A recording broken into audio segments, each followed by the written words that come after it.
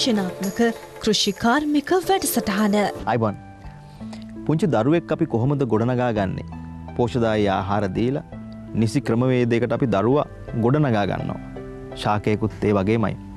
ශාකය මුල්ලවදී අපිට හොඳ පොහොරක් දෙන්න වෙනවා. හැබැයි ශාකයේ තරුණ වියේදිත් අපිට ඒ පොහොර ඒ විදිහම දෙන්න වෙනවා. පොල් වගාවකදී ව්‍යාපාරික වශයෙන් වේවා ගෘහස්තව වේවා පොල් වගා කරනවා නම් අනිවාර්යෙන්ම පොල් ගහට පොහොර ටික දාන්න වෙනවාම තමයි. අපි අද කතා කරන්නේ නියම ක්‍රමවේදයට අනුව කොහොමද කාබනික සහ රසායනික පොහොර ටික පොල් ගහට යොදන්න කියලා. ගෙදරවත්තේ පොල් ගහත් දෙකක් හදාගත්තනම් ඔය කුස්සේ එහෙම මිදුලතු ගාල එකතු වෙන කොම්පෝස්ටික දාලා හදාගන්න පුළුවන් හැබැයි මහා පරිමාණයෙන් පොල් වගා කරනවා නම් එහෙම කරන්න බෑ අනිවාර්යෙන් රසායනික පොහොර යොදන්න ඕනේ ඒකට හේතුව ලොකු අස්වැන්නක් ගන්නවා නම් ගහ හොඳට හැදෙන්න ඕනේ අපි බලමු කොහොමද රසායනික පොහොර පොල් ශාකයට යොදාගන්න. ඒකන පැහැදිලි කරයි අපේ පොල් සංවල නිධාරතුමයින්න ගමගේ මහත්ය අයිබ. අයිබන්න.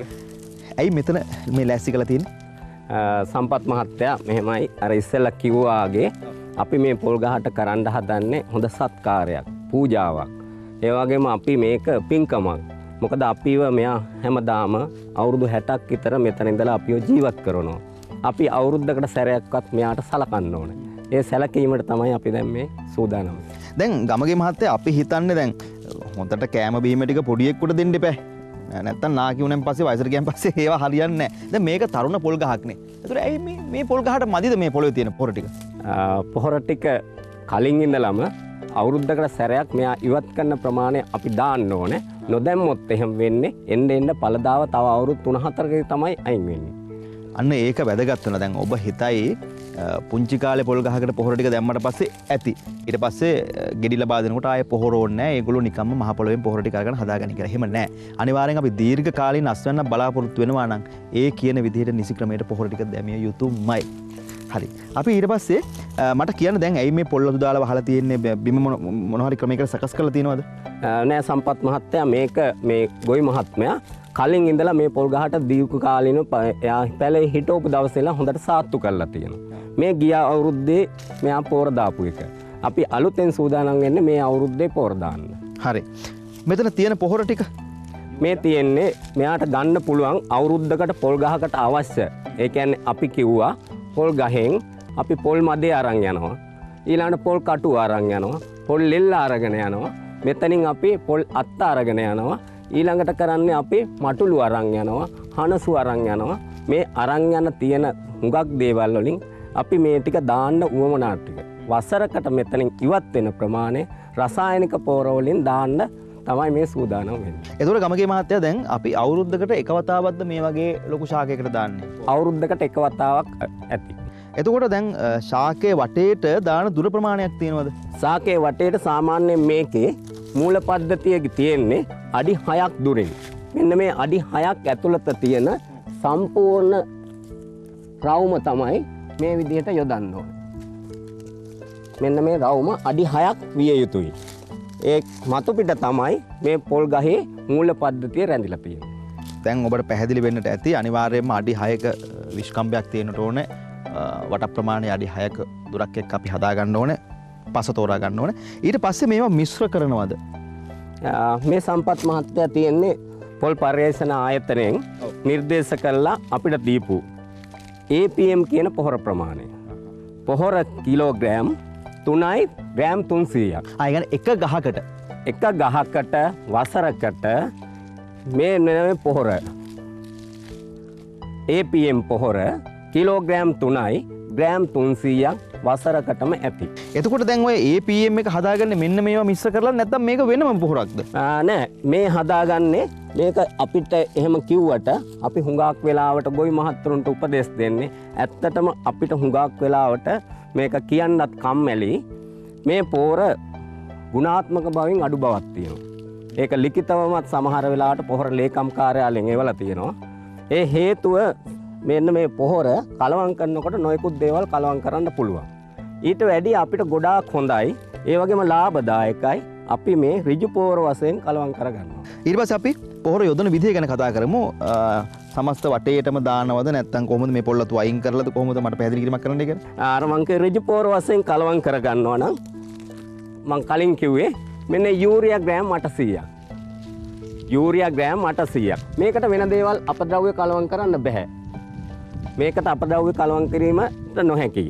ඊළඟට එත්පාවල රොක් පොස්පේට්.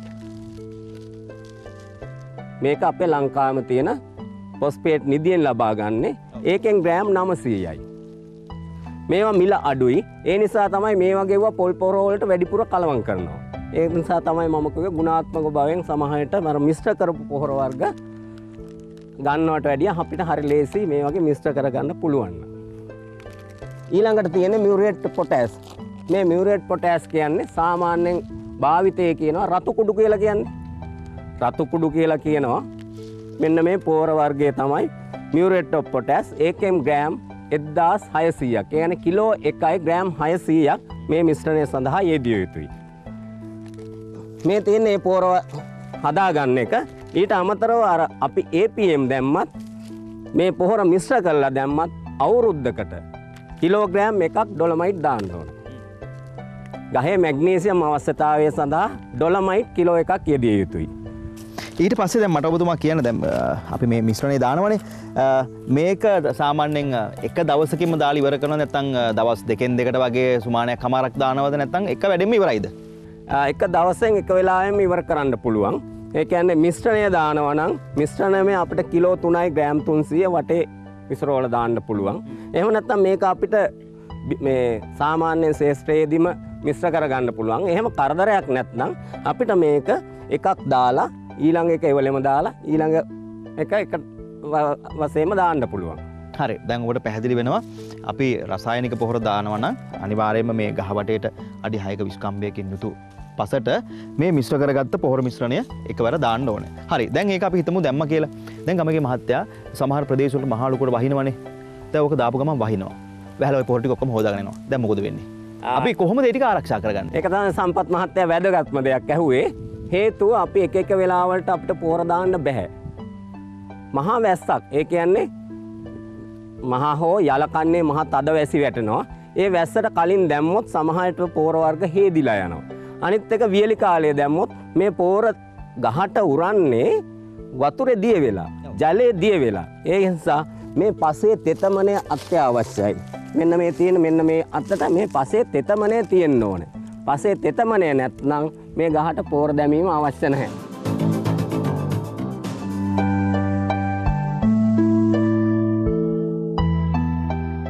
අපි කතා කරමු අර පොහොර ටික අරගෙන කොයි විදිහටද කොයි ප්‍රමාණයටද යොදන්නේ? අපේ දැන් අර මිශ්‍ර කර පොහොර යොදනවා නම් මේ පොහොර එක මං කිව්වේ කිලෝ 3යි ග්‍රෑම් 300 අරගෙන. හැබැයි හුඟක් දෙනෙක් අපි කිව්වා මේ පොල් ගහට සාත්තු කරන්න කියලා. සාත්තු කරනවා ඒ වගේ මේක පුණ්‍ය කර්මයක් කියලා. කිව්වට සමහර අය පොහොර ටික අරගෙන මෙහෙම මෙහෙම වීසි කරනවා. නමුත් මේක වියලිලා තිබුණොත් මේ ගහට නෙමෙයි යන්නේ අන්න අරහේ. ඒ හින්දා හොඳට කොන්ද පාත් කරලා මේ අතට මේ විදිහට ඉහගෙන යනවා පෝර ටික. පිටිපස්සෙන් පිටිපස්සටත් පුළුවන් ඉදිරියටත් පුළුවන්.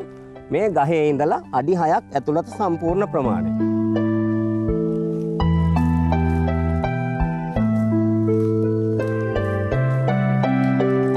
ගමගේ මහත දැන් අපිට හිතනවන මේ ගහ කිට්ටුව මේද මේ හරින හොඳ මුල් ඇත්තේ.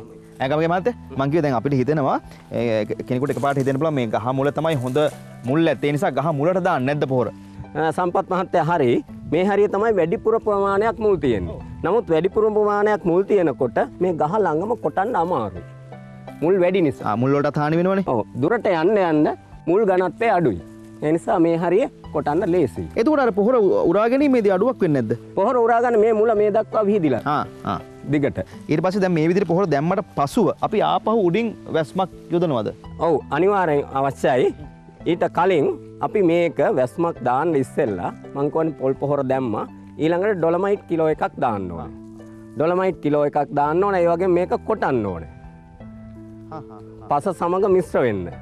නැත්තම් වෙන්නේ අර මතු පිටින් ඕක නිකන් තද පසක් එහෙම තිබුණොත් මේක මුල්ලෝට උරා ගන්න නැතු වෙනවා.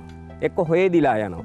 එහෙම නැත්නම් සමහරට යූරියා වාගේ වූ නයිට්‍රජන් වාෂ්ප වෙනවා. දැන් මේ තියෙන්නේ සාමාන්‍යයෙන් අ, පස් වලට යට වෙන ආකාරයට මිශ්‍ර කරගන්න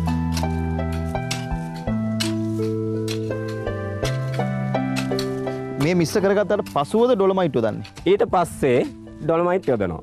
මෙන්න මේකෙදි සම්පත් මහත්තයා හොඳටම තේරෙනවා. අපි මේ ඩොලමයිට් එක මෙහෙම අරගෙන මේ විදිහට අපි නිකන් අර ගහට සලකන්නේ නැති විදිහට වාගේ. උඩින් උඩින් දැම්මොත් කොහෙද යන්නේ මේ? අරහට යන්නේ. ඒ නිසා හොඳට අත පාත් කළා මේ ගහට ආදරය කළා. ඒ වගේ හොඳට මේ පස් එක්කලා මේවා සම්බන්ධ වෙන්න. හුඟක් කෙනෙක් මේ පස් අත ගන්නත් කැමති නැහැ. හොඳට අත ගෑවට පස් කියන්නේ බොහොම අපිව ජීවත් කරන එකක්. නැවතවතාවක් කාපහු මේ ඩොලමයිට් එකත් පසට මිස්ස කරගන්නවද? දැන් ඔයගම ඩොලමයිට් කියන එක පස්සේ ගම මිශ්‍ර කරන්නම අත්‍යවශ්‍ය නැහැ. ඩොලමයිට් කියන්න ඕක බර වැඩි නිසා පහලට තමයි ගමන් කරන්න. දැ මෙතරින් පස්සේ මොකද කරන්න? මීට පස්සේ අර කියපු විදිහටම වසුනක් යදන්න ඕන. වසුනට හොඳ දෙයක් තමයි සම්පත් මහත්තයා මේ පොල් අතු පොල් ගහේම දෙයක්නේ.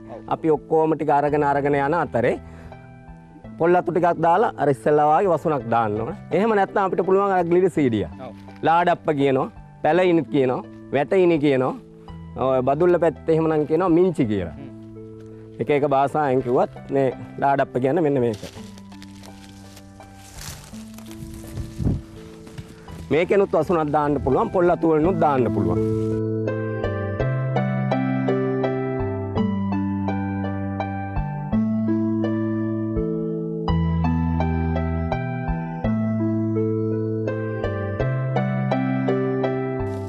ජලය යොදන්න අවශ්‍ය නැද්ද?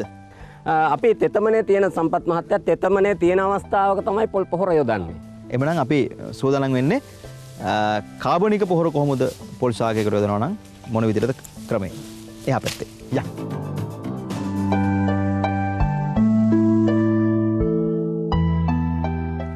අපි මුලිනුත් කිවන මහා පරිමාණයේ පොල් වගාවක් කරනවා නම් ව්‍යාපාරික වශයෙන් රසායනික පොහොර යොදන්න ඕන. හැබැයි අ, ඔබේ ගෙදර තින් අක්කර භාගයයි පර්චස් දහය දොළහයිනේ. ඉතින් ඔබ ගෙදර වත්තේ පොල් පැලයක් කදාගන්න ඕකට රසායනික පොහොර දාලා මහන්සිවෙන්ට ඕන්න ඕකට හොඳම දේ තමයි කාබනික පොහොර. එහෙමනම් අපි දැනගන්න ඕනේ කොහොමද කාබනික පොහොර ටික දාන්නේ? ගමගේ මහත්තයා පැහැදිලි කරයි.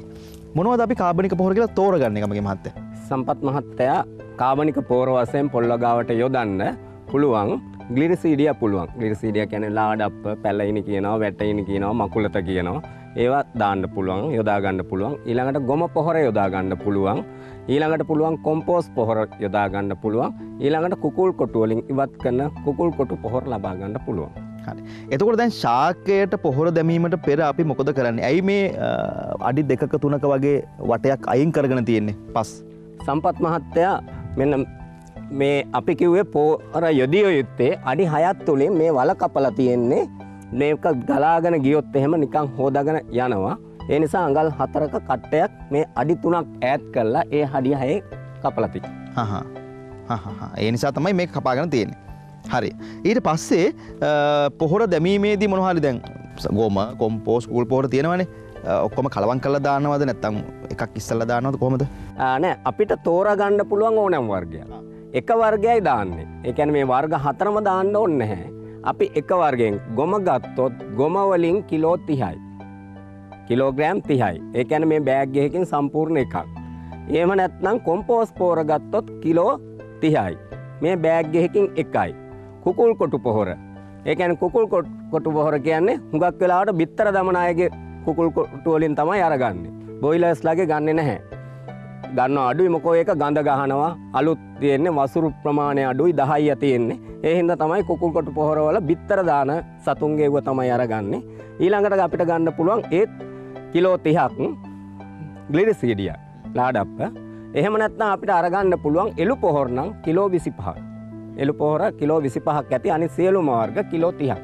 එක වර්ගයයි එක අවුරුද්ධකට ගසකට. කිලෝතිහක් යන් ලොක ප්‍රමාණයක්. සාමාන්‍යෙන් අ, ගොම පොහොර කිලෝතිහක් කියල කියම සොබට හිතේ අවුරුද්ධ පුරාම ගොම එකතු කරත් කොහොම කිලෝතියක් කදාගන්න කියලා. කූල් පොහොර අවුරුද්ධ පුරාම එකතු කරත් කිලෝතියක් කදාගන්න පුළුවන් කියලා හිතේ කොම්පෝස්ට් අපි ගමක වත්තේ අතු ගාලා දාන කොළ ටික ඔය කුස්සියේ හා මේ මේ අඩුපාඩුකම් නැත්තම් මේ ඉතුරු වෙන කෑලි මේව ටික ඒ ටික දාලා කොම්පෝස් හදාගත්තට පස්සේ ඒක ඔය ගොම පොහොර කුකුල් පොහොර වඩා ලොකු පොහොරක් ගෙන දෙන්නේ නැද්ද? ආ, එක සමානවමයි. කොම්පෝස් තමන්ට හදාගන්න පුළුවන්නම් ඇත්තරම කොම්පෝස් පෝර භාවිතා කරන්න පුළුවන්. ඒ සඳහාත් කොම්පෝස් හදන්ඩත් සමහයට ගොම පොහොර යොදාගන්න පුළුවන්. කුකුල් කොටු පොහොර යොදාගන්න පුළුවන්. ඊළඟට අපේ මේ තියෙන ලාඩප්ප දිරලෑන කෙහෙල් කොට ඒවගේ දිරලෑන සියලුමදේ භාවිතා කරලා තමයි කොම්පෝස් හදාගන්න හරි. එමන අපි පොහොර ටික යොද යොදමුත් දැන්. හොඳයි දැන් අර මං කිව්වේ මේ අඟල් හතරක් විතර ඝනකමට මේක මේ අඩි තුනක් ඈතින් මේ ප්‍රමාණය පස් කපලා ඉවත් කරගන්නවා. හේතුව අර ජලය එහෙම ඇවිල්ලා වැස්සක දවස්වලට මේක ගලාගෙන ගිහිල්ලා අපත යන්න පුළුවන් හුඟක් බෑවුම් ඉඩම් වල එහෙම. ඒ හින්දා තමයි මේ වලක් කපාගන්නේ. වලක් කපාගෙන කොම්පෝස් පොහොර මං කිව්වේ කිලෝ 30ක්. අපිට තෝරගන්න පුළුවන් මේ ඕනම වර්ගයක්. ඕනම වර්ගයෙන් එක වර්ගයයි අපි යොදන්නේ. සියලුම වර්ග ඒ දිය යුතු නැහැ. එතුර කමගේ මහත දැන් අපි රසායනික පොහොර ගැන කතා කරද්දී අවුරුද්දකට එක් වතාවක් කියලා කිව්වනේ. එතකොට කාබනික පොහොර කාබනික පෝරත් සම්පත් මහත්තයා එක් වතාවක් යෙදුවහම ඇති. දැන් එතකොට අපි දැන් අපි දකින්නේ මේ වගේ සාමාන්‍ය මධ්‍යම ප්‍රමාණයේ පොල් ශාකයක්නේ. එතකොට කමගේ මහත්තයා පැලයකට වගේ යොදනවා නම් පොඩි පැලයකට වගේ යොදනවා නම් කොහොමද මේ ප්‍රමාණ ප්‍රමාණයන් වෙනස් වෙනවද? සාමාන්‍යයෙන් අවුරුදු තුනකට අඩු එහෙකට. කිලෝ හත හමාරයි. ඊළඟට අවුරුදු තුනේ ඉඳලා පළදරන තෙක් කිලෝ පහළවයි. ඊළඟට පළදරන ගහකට නම් කිලෝ තිහයි. අපිට හොයාගන්න පුළුවන් කිලෝ තිහෙන් භාගයයි පහළවයි. ඒකෙන් භාගයයි හත හමාරයි. අන්නේ විදිහට අමතක වෙනවට මතක තියාගන්න හරිම ලේසි ඕන කෙනෙකුට ලොකු ගහකට කිලෝ තිහයි ඊළඟට අවුරුදු තුනේ ඉඳලා අවුරුදු පහක් ඒ කියන්නේ පළදරන ගහකට කිලෝ පහළවයි පැලේකට අවුරුද්ද ඉඳලා අවුරුදු තුන වෙනකල් එහෙකට කිලෝ හත හමාරයි. අ, සාමාන්‍යයෙන් අපි කතා කරන්නේ කාබනික වගාවක්. දැන් අද කෘෂිකර්ම දෙපාර්තමේන්තුව ගැන කතා කරත් ලංකාවේ කෘෂි ශේෂ්ත්‍රය ගැන කතා කරත් අපි හැමදාම කතා කරන්නේ කාබනික වගාවක් ගැනනේ. රසායනික පොහොරත් එක්ක තියෙන ලෙඩ රෝග සම්බන්ධයෙන් මිනිසුන්ට uh, අයථා දේවල් සිදුවීම වැඩි නිසා අපි කාබනික වගාවක් ගැන කතා කරනවා. ගමගේ මහත්මයාට ඇත්තම කියන්නකෝ. ඇත්තටම කාබනික පොහොරද වඩාත්ම හොඳ රසායනික පොහොර. ආ, සම්පත් මහත්තයම අපි ප්‍රායෝගික සහ ඊළඟට අපිට පර්යේෂණ ආයතන වලින් නිර්දේශ දීලා තිනවා කාබනික පෝර තමයි ඊටාම හොඳ. හේතුව හේතු එකක් නෙමෙයි කීපයක් තියෙනවා. අපි මේ රසායනික පෝර ගේන්නේ පිටරටවල් වලින්. එතකොට අපේ රටේ තියෙන සල්ලි පිටරටට යනවා. පොල් පොහොර කිලෝ එකක් රුපියල් විසිහයයි විසිහයයි කියන්නේ හොන්ඩරයක් රුපියල් එදදාස් තුන්සියක් කිව්වට ඕක ලොකු ගානක් දීලා ගේන්නේ. ඊළඟට අපි මේ කොම්පෝස් පෝර දානකොට අපිට ඒ ප්‍රමාණය ඉතුරු වෙනවා විදේශයට යන එක. ඊළඟ එක පොඩ්ඩක් බලන්න මේ වගේ කොම්පෝස් පෝර දැම්මහම මේ පස්සේ හුඟක් සැහැල්ලු වෙනවා. සවිවර වෙනවා. මේ මේක ඇතුලේ මුල් ගමන් කරන්න පුළුවන්. කුඩා ගැඩවිල්ලු, පණු නොයෙකුත් සත්තු ඉන්නවා. නමුත් රසායනික පෝර දාලා බලන්න දාපු දවසට පහුවදාට අර සියලුම් පැලෑටි ටික වටේ තියෙන ටික මැරිලත් ගිහිල්ලා. නමුත් කොම්පෝස් පෝර එහෙම නැත්නම් මේ කාබනික පෝර දැම්මහම මේකේ තව ටික දවසකින් අපිට ඕන තව තම්පල වර්ග, ගෙන්ද, සාරණ ඒ වගේ පොඩි පොඩි පලා වර්ග අපිට හදාගන්න පුළුවන්. හරි. එතකොට දැන් මේ විදිහට මේවා කලවම් කර ගන්නත් ඕනේ. එහෙම දැන් ඊට පස්සේ මේක දැන් කලවම් කළා අපිට තියෙනවා මේක දැන් වහන්න ඕනේ අපි. මොකද හේතුව දැන් මේ වගේ තියෙනකොට මේ ඇතුලේ මේ කළු කුරුමිනියාගේ බිත්තර අර කම්බිලි පණුව කියලා ඉන්නේ. මේ කම්බිලි පණුව තමයි ටික දවසකින් කළු කුරුමිනිය වෙලා පොල් ගහට එහෙම විදින්නේ. ඒ නිසා මේ වගේ නිකන් ගොඩ ගහලා තිබුණොත් එකක් හේදිලා යන්න පුළුවන් ඊළඟ එක කළු කුරුමිනිය වගේ දේවල් බෝ වෙන්න පුළුවන්. ඒ නිසා අපි පස් ස්තරයක් දාලා පස් දාන්න ඕනේ මේකට. ගමගේ මහත්තයා ඊට පස්සේ අපි මොකද කරන්නේ මේ ඇයි ඩොලමයිට් ළඟ තියාගෙන ඉන්නේ මේවා දාන්න ඕනේද? අපි දැන් කොම්පෝස් පොහොර දැම්මහම මේ ගස් පොල් ගස් ඇවිල්ලා කෙඳි සහිත සාක. කෙඳි සහිත සාක නිසා මේවට පොටෑසියම් වැඩිපුර ඕනේ. මෙතන තියෙන්නේ පොටෑසියම් අපි කොම්පෝස් පෝරෝල දාලා අපිට මේ ලබා දෙන්න බැරි ටික. මේ තියෙන්නේ රතු කුඩු හෙවත් MOP මේකෙන් පොටෑසියම් වැඩිපුර මේ කෙඳි සහිත සාකවලට අරගන්නවා. ඒ වගේම තමයි මැග්නීසියම් දෙන්න ඩොලොමයිට් අපි මේකට එකතු කරන්න ඕනේ. මේකෙන් ග්‍රෑම් 750. ඒ කියන්නේ කිලෝග්‍රෑම් වලින් බැලුවොත් කිලෝ 3 කාලක් විතර. ඊළඟට ඩොලොමයිට් වලින් කිලෝ එකකුත් එකතු කරනවා. මේ කුරට එකතු කරනවා. අපි ඒකත් එකතු කරගමු.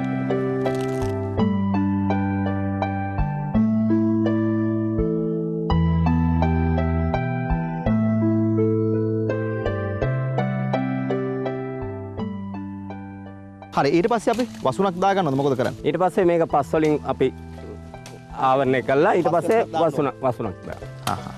දැන් ඔබ දකින්න පුළුවන් ඔබට මේ විදිහට පස් වැස්මක් අනිවාර්යයෙන්ම දාගන්න ඕනේ. මේ ඇත්තටම ගමගේ මහත්තයා එකෙන් බලාපොරොත්තු වෙන්නේ මොකද්ද පස් පස් යෙදීමෙන් අර මං කිව්වේ වැස්සට හේදිලා යන එක. ඊළඟට සමහර විට දුර්ගන්ධයක් එනවා නම් ඒක වළක්වා ගන්න පුළුවන්. ඊළඟට අපිට හානිකර පොල්ලගාවට හානිකර කළු කුරුමිනියා එහෙම මේකේ බෝ වෙන්න පුළුවන්. ඒ බෝ වෙන ඒවා වළක්වා ගැනීම තමයි මේකෙන් කරන්නේ.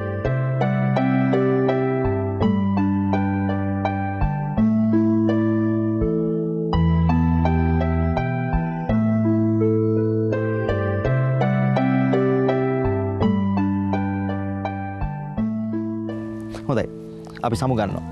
සමහරට ඔබට හිතන්න පුළුවන් ශක්මක ලේසි වැඩක්න කියලා. ඔය ඇතරම ලේසි. අපිට පොල් ගහට පොහොටික දාන තියෙන අවුද්ධකට එකවතාවක් විතරයි.